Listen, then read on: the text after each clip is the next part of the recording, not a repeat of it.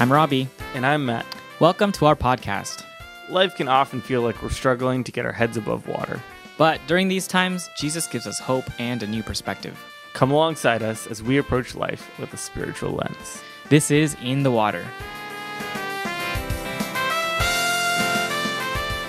Hello, everyone, and welcome. This is the beginning of our podcast. This is how we start things now. yeah. Um, before we get into our topic today, which is what are we calling it? Just a broad general view of mental health, um, an introduction to it. Mhm. Um, before we dive in to the water, let's. Man, we make that joke every time. It's too obvious. Yeah, but uh, let me open up with a word of prayer. Heavenly Father, we lift up a praise to you and thank you because it's you for you and for your glory that we do this podcast, um, that we talk and just dive into um, deep spiritual concepts. We do it because you have allowed us to and because you give us the spirit of glorifying you. Um, Lord, in my life last night, there was a power outage and the entire evening was spent in the dark. Um, but with you, Lord God, I know that we are always in the light of your Son Jesus. Um, and we don't need the things of this world. We don't need electricity. We don't need creature comforts um, when all we have is you. So thank you, Lord God. Um, I pray a blessing over the conversation that Matt and I have, um, that will be edifying to you, and that those who, who join us and just listen and and join us on this journey will um, become sanctified in your in your grace as well. So we pray all these things for your Son, Jesus. Amen. Amen. I feel like it's important in this first official episode to kind of recap like mental health 101 discussion that we're going to have today, which is kind of like uh, a primer or like a brief on on what we're going to be talking about. Like, what is the point of this this podcast, um, and why it started? Like, why did this become such a personal thing for us uh, that we decided to to start this podcast in the first place? Yep. Um, mental health is a subject that's very close to my heart. Um, I'm going to talk about it later in the episode, but um, for full disclosure, um, I am someone who has been diagnosed with a mental illness, and it's something that I was diagnosed with a couple years ago when I was tw 20 years old. Um, and once I was diagnosed, um, I became a big advocate for mental health in the church, mental health in the lives of my friends around me, mental health just in culture and society. Yeah, yeah. I am also no stranger to, to struggles with with mental health. Um, I can remember uh, as far back as as young childhood uh, instances of um, what looking back I can can see and can identify as as depression um, or uh, or feeling anxious, um, and then really feeling that come on much more strongly in my junior high years. So being able to to now uh, digitally share my testimony and and say that the church has been such a huge blessing in, in my mental health journey. Uh, and also be able to say that there are people out there who understand exactly what you're going through. Uh, it was something that would have been very impactful for me if I had heard something like this um, with what we're trying to accomplish here. So Matt just talked a little bit about how the church impacted him positively with his mental health, but that's frequently not the case. So it was the interactions with people and it was the activities that you got to do at church that really um, came through for you. Yeah, yeah. Um, but one of the, the main issues with the church in general is that it's often dismissive of mental health Mhm. issues in general. Yeah, it's. Uh, I received very little help when it actually came to practical things about my mental health, or even non practical things, like just being able to express myself. Um, I did not feel like I could do that. And it, um, it wasn't until uh, just maybe a couple years ago that I actually told anyone at the church that I was struggling with depression. Um, I was going through a very particularly rough season, and I just uh, wanted to open up to someone about it. And basically, the advice that I got was just to push through. Uh, Use your willpower to get through Right. mental health problems. and it's like, okay, well, the problem with that is that all of my mental energy is going towards like trying to not give in to my depression. So I don't really have much willpower left to just end it. Mhm. Um, it's very hard for people who don't struggle with their mental health or haven't been able to identify those things in their life to understand exactly what it is that people are going through. Like I, I felt in particular, like people just did not understand what it was like to be me. Um, and kind of the things that I would struggle with, and it felt very lonely to be kind of surrounded by people that should be able to help that either just wouldn't or couldn't. Mhm. Yeah. Um, and so I'm very grateful to uh, to the church in general for existing and for having a place where I could be away from negative environments and things that would drag down my mental health uh, in very rough seasons. Um, but the church is, is not without its fault uh, when it comes to addressing mental health. I think oftentimes the the key phrase is just give it to God. yeah, let's just pray. Yeah, About it. and and it's like, oh yeah, cool. That's gonna make me feel a lot better. Which actually, uh, I will get into a bit. Like, prayer will help you feel better, um, but telling someone just to pray, and um, Not helping them know what to pray over or how. yeah, or like why prayer is important, why it's uh, not just a band aid, but a solution Mhm. almost. Um, like not being able to walk alongside people in their mental health is one of the major faults of the church. Mm. I feel. Yeah, there's a stigma that's associated with mental health. Um, there's, if not now, there certainly was in the past, in the recent past, a stigma um, about going to therapy, about seeking help. Let, let, let's think about the the, the ways that um, the church doesn't really help in in its addressing of mental health. Yeah, I've I've heard.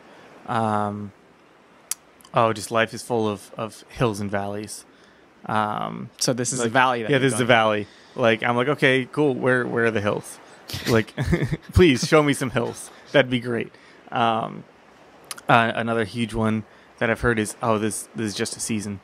Um, it's like, okay, yeah. Uh, so we have pushed through it, which is like, uh, like do everything you can to uh, to to fight this so that you can get through it as quickly as possible, um, and uh, and get back to being an, a quote unquote normal person. Um, and then this is just a season, which is basically just saying, just wait for it to be over.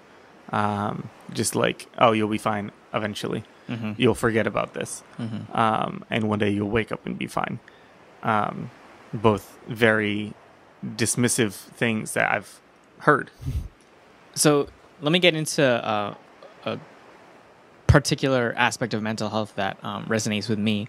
Um, I dislike the term mental illness so much that I don't even refer to mental illness as mental illness most of the time. Because a mental illness is not truly a disease. It's not like cancer and it's not like um, diseases of, of um, DNA because we don't contract them. They're simply conditions um, that come about and show themselves as we get older. In a sense, these mental mental illnesses have been around since we were born. My preferred term to describe them are mental conditions because then it shows that just because you have something called something that society labels as anxiety or just because you have something that society labels as depression doesn't mean that you're broken. It doesn't mean that you're you need to be fixed and you need you need a bunch of pills and you need therapy and you need psychiatry in order to get well again if there even is a, such a thing as getting well. Um, what it means is that there's a new um, homeostasis. There's a new just mental equilibrium spot where um, you are going to um, navigate the rest of your life with. Um, so by calling mental illnesses mental conditions i hope to be able to in my own way combat the stigma that follows people who have mental illnesses because, like I s- said a little earlier, everybody I know um, demonstrates mental illness symptoms. So in that way, does that mean everyone is sick? is, everybody mentally ill? Is ever is there nobody who's healthy, quote unquote? Yeah, I, I, I really like that term that, that Robbie uses the uh, mental condition over mental illness. Uh, a, a condition is something that, that's saying, like, this is the state that you are in.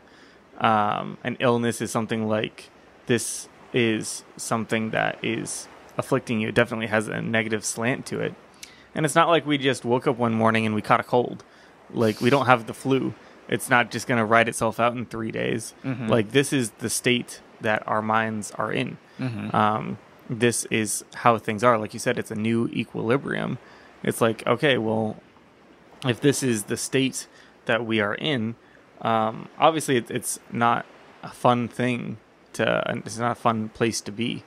Um, but if this is, is the state that we are in, then we need to figure out ways that we can, uh, healthy ways that we can get to a place where we uh, can thrive, where we are happy and healthy. The way that this is the state that my brain is in, Mm. this is the state that I am in. Um, and it's not something that I just change. Like, I'm not choosing to be like this. Uh, I want to be happy. I want to be healthy. And I want everything to feel like it's going to be okay because sometimes it just doesn't. It takes practice to find things that uh, that take us from an equilibrium of uh, of whatever state we are in to an equilibrium of okay, like I'm living a uh, a life that makes me happy and I feel healthy and I'm surrounded by people who love me uh, and that I know care for me. Um, sometimes it's difficult to find those positive environments that we can thrive in because uh, it's not that we are constructed poorly, it's just that we're constructed differently um, than some people. It's Mhm, not a worse exactly. equilibrium, it's just different. Um, and we we see it uh, people in scripture who are constantly questioning God, like, why am I like this? Why did you make me this way? Yeah. Um, I am wretched and afflicted. God, Mhm. why am I this way? I, I think of two prime examples when it comes to that, and looking at the story of Job, uh, who was really being put through the wringer uh, and being tested because he is seen as this faithful man of God, and so uh, so we see this dialogue between uh, God and Satan, where Satan is saying, "Okay, well, we'll take away all the blessings that you've given him." and see how faithful he is then see how much he loves you then and so god says okay and and he takes everything from Job and more uh, all of the blessings. And Job still stands firm in his faith in god um, and is willing to stand up to uh, his wife and all of his friends who are saying just just curse god and, and die. Um, and he refuses to do so. Like if that is not mental fortitude then I do not know what is. um, like that is um, that is someone in scripture who obviously he he mourned everything that was taken from him, but he never lost hope in God. Um, and then looking uh, on the opposite end of the spectrum at King David, who wrote the book of Psalms, uh, and in just about every psalm we see this very emotional roller coaster of things where where David says, God, like, why are you doing this to me? Why am I like this, God? Um, why have you uh, given my enemies power? Why um, do I feel so hopeless? Where are you, God? Why have you left me? I feel uh, desolate and abandoned and betrayed, but you're still good. And I know that this has to be happening for a reason.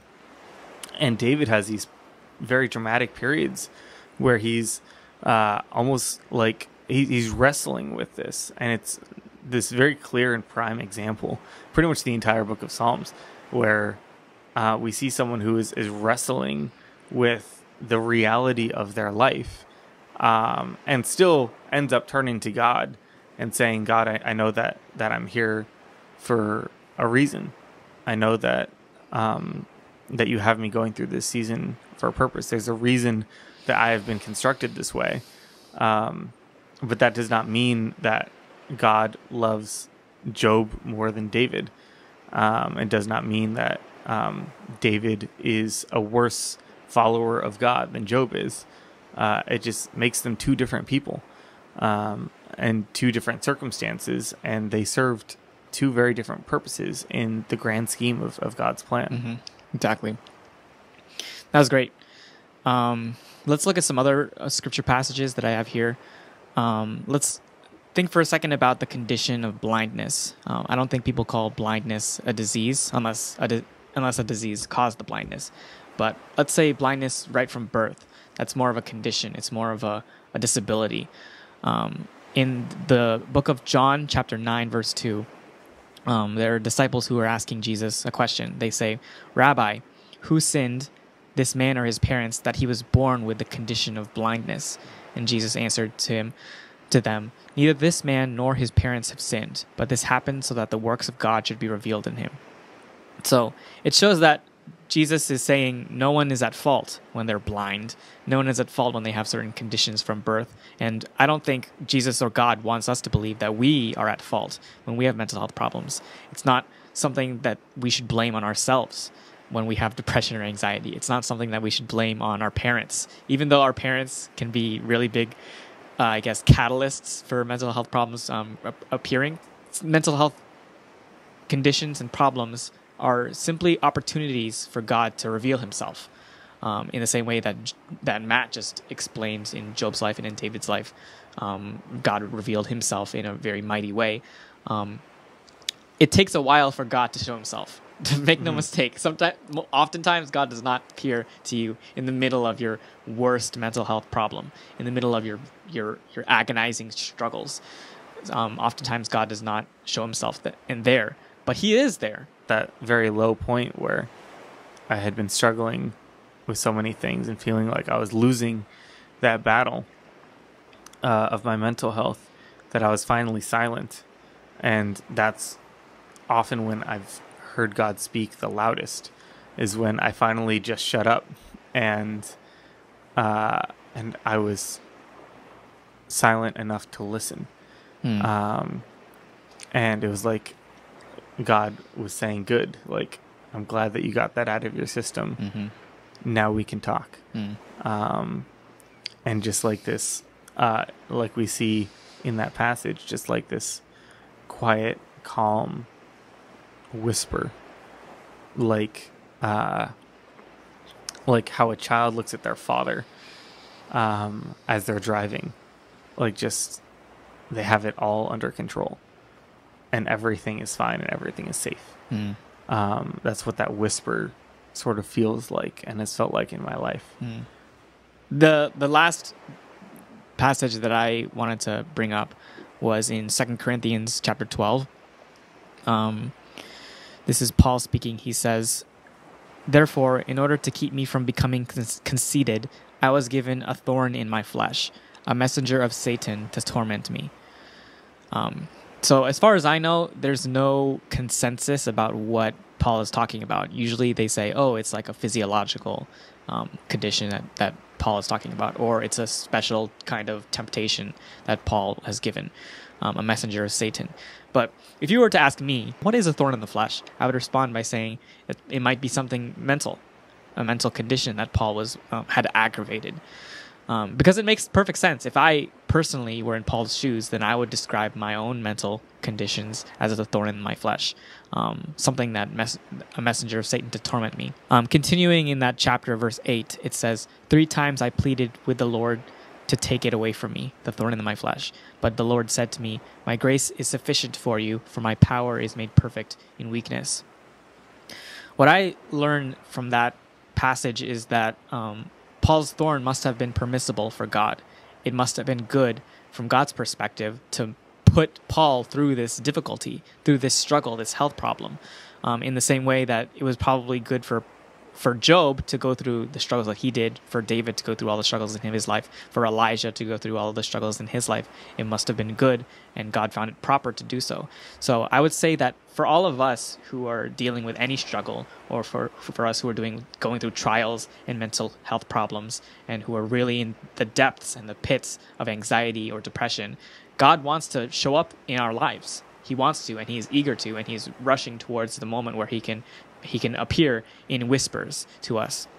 Um, God doesn't want he doesn't enjoy standing by and watching his servant Paul get tormented by Satan so many times, and it shows that I, I'm sure every time that Paul prayed to God for for for being rescued, um, God was very close and very eager to to heal Paul of what what it was that was afflicting him, but um, in in God's infinite wisdom, there are times when He doesn't want us to he, want us to be healed of things.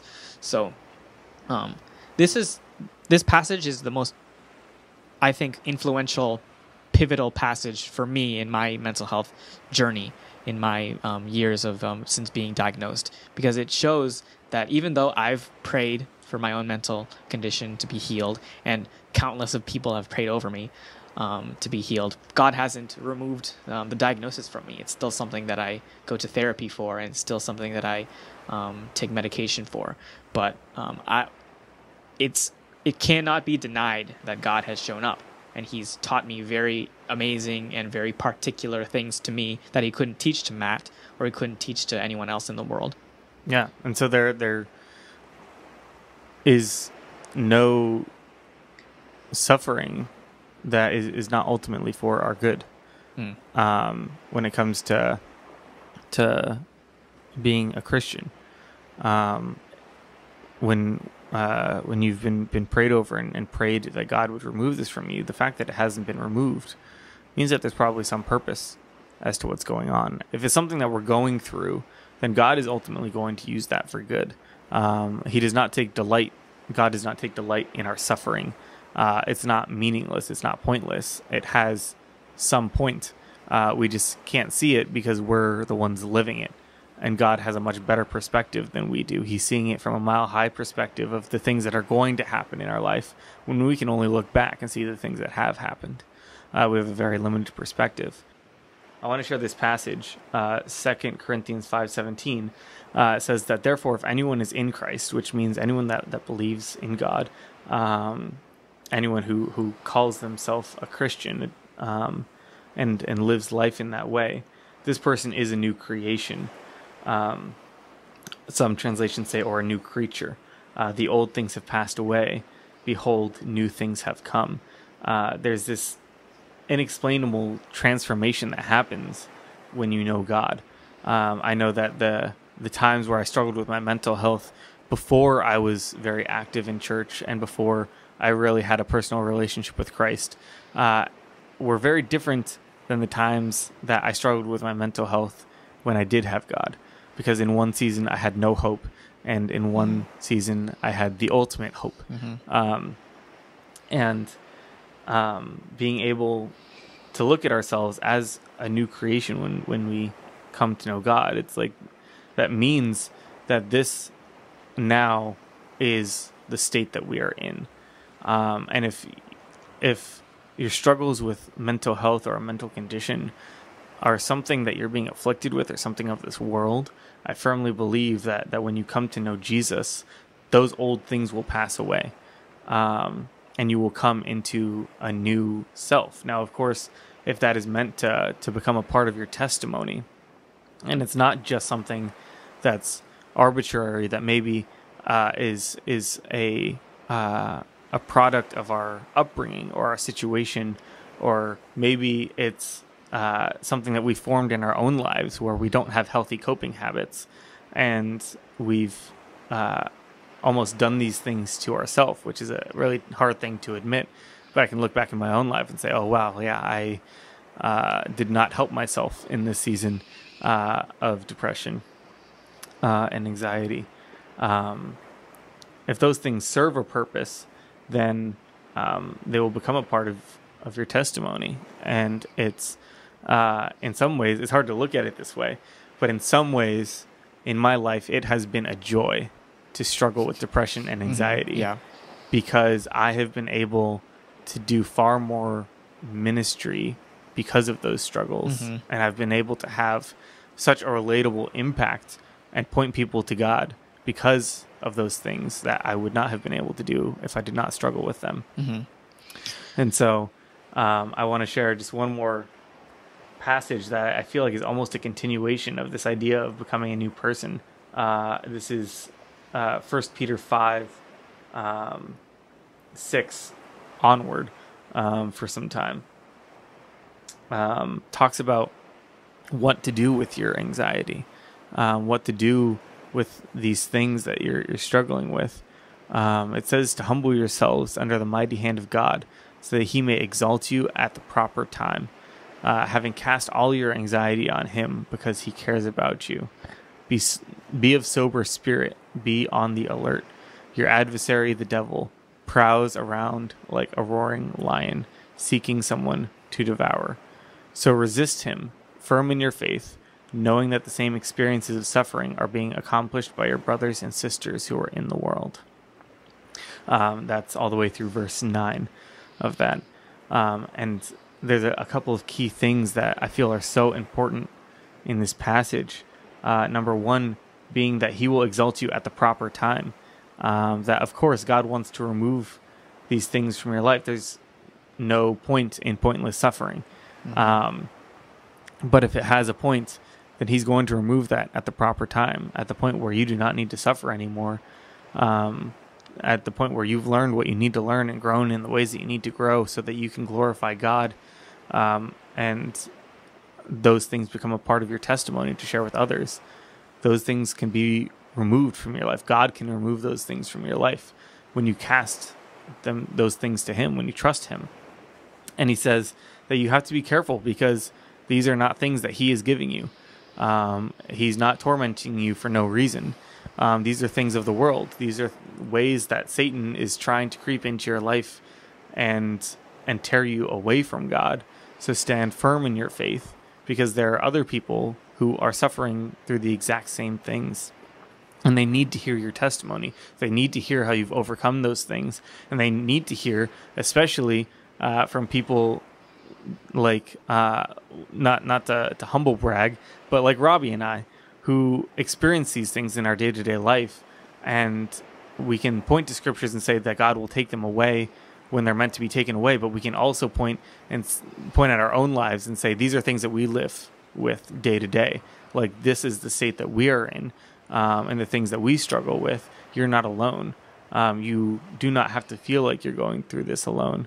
Um, you have people in your community of Christ that understand what you're going through and can relate to you and want to point you to Christ so that so you can have this this peace and calm and this uh, tranquility that comes with just being able to to be silent in your mind and hear the voice of God say that everything is going to be okay and that um, everything has its proper time. hmm Yeah, we hope that this podcast um, is dispelling the stigma that is uh, surrounding mental illness and is creating a new doctrine, creating a new theology around mental health. Um, but during this last part of um, this episode, we hope that we, Matt and I, can empower you, listener, with the power and the grace and the mercy of Jesus Christ.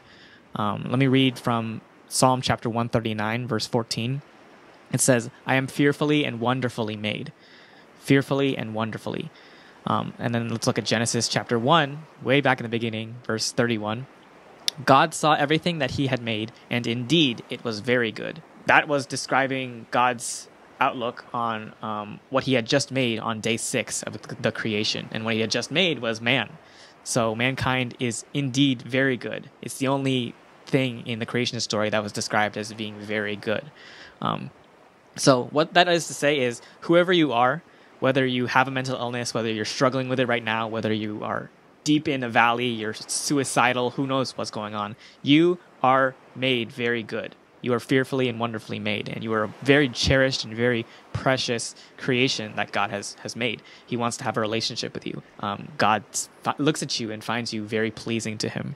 Aside from our sin, um, we are fine, and what what what do I mean by that? Aside from our sin, aside from the original sin that's been passed down to us from Adam and Eve, we have been designed the way that we are, and um, that may sound a little callous depending on how your life is going, but I personally believe that um, our mental conditions and our struggles are all programmed into us from God so that His glory may be revealed.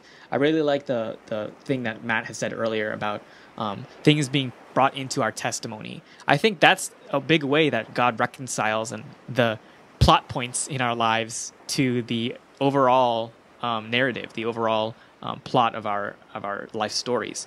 I think he reconciles the bad struggles with the testimony that we have to say about those bad struggles. Um, I don't think that anxiety anxiety itself is a good thing. I am as frustrated and as angry that anxiety exists as the next person, but I do think that having anxiety is fine. That ha- having anxiety and having a support system, people to talk to, um, ch- churches to lean on, scripture to empower us, and the God of the universe to comfort us. I think that is all very much in God's writing repertoire. That's how God writes stories. Um, every um, Christ-fearing believer I've met who who has triumphed over mental conditions and mental health problems have done so, and they're praising God just in the same way that Matt had said earlier. They're pra- we're praising God, and we're um, seeking Him, and we're um, proclaiming the the good work that He did in our testimony and in our lives. Um, I believe that God gave us weaknesses, like it said in the thorn in the flesh um, passage. He gave us weaknesses and complementary strengths. What I mean by that is, I don't have exactly what what Matt deals with. I don't deal with depression that often in my life, but um, the weakness that afflicted him during certain times of his life is a strength that he uses to empower and embolden other people. So Matt is able to to rouse up a whole crowd and a whole group of people that I would not be able to because I don't have that testimony in my life. I don't have that strength and that gift of a testimony that that, that God gave Matt. Um, I think that God wants us to worship Him in unique ways. Um, so Matt worships God in his his own way through his own stories and struggles and testimonies. I worship God in my own way. Um, I think that those weaknesses that Paul talks about. Let me read um, the remainder of that passage. God says to me, Paul, My grace is sufficient for you, for my power is made perfect in weakness. And therefore, I, Paul, will boast all the more gladly about my weaknesses, so that Christ's power may rest on me. That's such a, an amazing thought that Paul is boasting and he's glad about his weaknesses. The things that we in the modern American society don't want to have, those kinds of weaknesses, Paul boasts about them because he is so sure that his weaknesses point to God's strength and God's power. But, anyways, weaknesses are good in God's kingdom.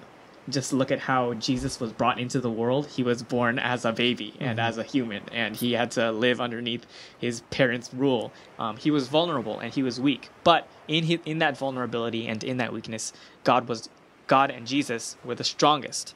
There's something about leaning on other people leaning on um, God, leaning on our parents, leaning on um, the laws of the universe, and on leaning on God's grace that demonstrates the power in God's kingdom.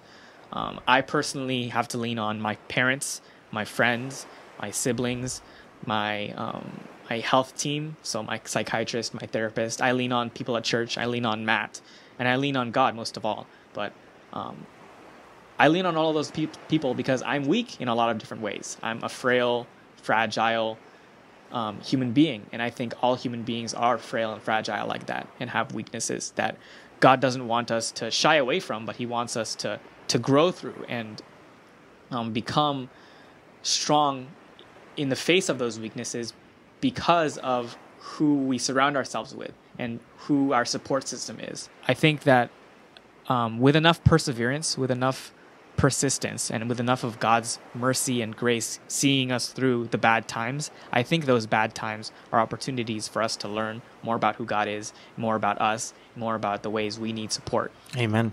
I mean, just just look at what what Paul said there. I mean, he's basically saying, "Look at how weak I am. Look how much room God has to work. Like I am so proud that I am so weak because look how much influence God can have in my life um, because I don't have it all together. Um, God has that much more room to work and help me grow. Amen. So we're praying for you guys, all of you listeners. We pray for you, um, and we know that some of you may be going through really bad struggles that don't feel like opportunities at all. They feel like just the worst moments in your life, and you may feel like ending it all at once. Um, we want to remind you that Paul prayed three times. Um, I I have a feeling that Paul prayed even more than three times, but he says that he prayed three times that his thorn in the flesh would be removed from him. So um, that shows that he had agony. There were times where he didn't boast. We just wanted you to know that we also pray that um, whatever struggle you're going through, that you will find mercy, that God will rescue you sooner rather than later, um, and that um, any um, illness or any difficulty would be removed from you. Matt and I truly believe that um, a testimony is being written and that God wants to use you in a mighty way. Um, whether you're a Christ follower or whether um, you um, don't believe in Jesus at all, um, God has something in store that is glorious and beautiful and worthy to boast about. Yeah, and that, that's where this what we're saying right now differs from uh, from some of the stereotypical language that we talked about uh, early in the podcast. Um, we're we're not saying uh, push through it so that you can get back to being quote unquote normal. We're not saying uh, this is just a season and eventually uh, you're just going to be fine. Uh, we're saying that no, like this uh, season, this is intentional um, and that there is an end point um, to what you are going through. Um, it's not something that is arbitrary, but is something that is uh, going to set you up and and God will use to like Robbie said uh, to give you a powerful testimony that you will have a huge impact for Christ. It's not about just pushing through or waiting it out and getting back to to being normal. But no, God is going to use your struggles and use the things that are afflicting you to ultimately give you a powerful testimony. Uh, and that's where that differs. We're not saying that that everything is just going to go back to normal. We're saying that things are going to be so much better mm-hmm. than they could ever have been imagined mm-hmm. to be. Amen. so yeah, we love all of you guys. We're praying for you. Yeah, if if, if there's anything specific that you're going through, uh, just feel free to, to drop it in the comments and and we'll take a look at those and, and be praying for you and and uh, seeing how we might address those things through this podcast. This is uh, this is a, a living podcast. Um, mm-hmm. We uh, have a, a, list of topics that are, are, near and dear to us, but if there's something that, that we see is important um, for our generation or our society to, to discuss, then, then that's what we want to do. Uh, we're, we're here to, to combat uh, myths and stereotypes about mental health um, and, and to be here and, and, and tell you that you're not alone. Um, but in the meantime, uh, we would just love to pray for you in this moment as we close. So, dear Heavenly Father, we we thank you for um, for this one specific person who is listening, God. We thank you for creating them so intricately, uh, for weaving the fabric of their being together uh, long before uh, we could have even imagined who they might be. God, uh, and sitting here at, at this table. Uh, Robbie and I don't know who that, that person is, this person listening to us right now. Um, but God, you knew you knew them before they were born. You know them better than their parents know them, better than they know themselves. God, and you can see the trajectory of their life and exactly how this season is going to glorify you.